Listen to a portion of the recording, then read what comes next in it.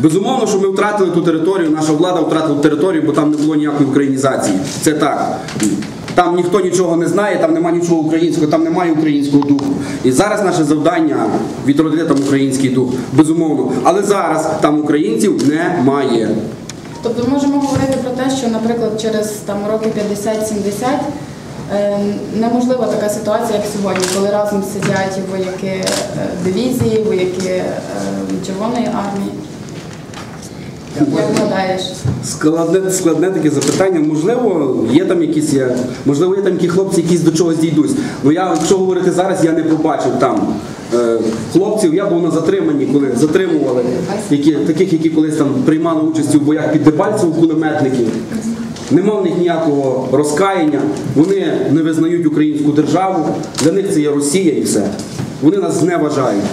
Для нас, для нас, для, для них ми є вороги. Якщо хтось думає, що я багато такого чую зараз там по приїзді вдома, що о, там я там не пхаюсь кудись. Якщо хтось думає, що він нікуди не пхається, там, тобто займає таку байдужу сторону, що нам є українцям також таке, є така риса в українців, то він помиляється. Коли вони зайдуть сюди, вони не будуть питати, чи ти займав таку сторону, таку чи таку. Для них ми є вороги і все.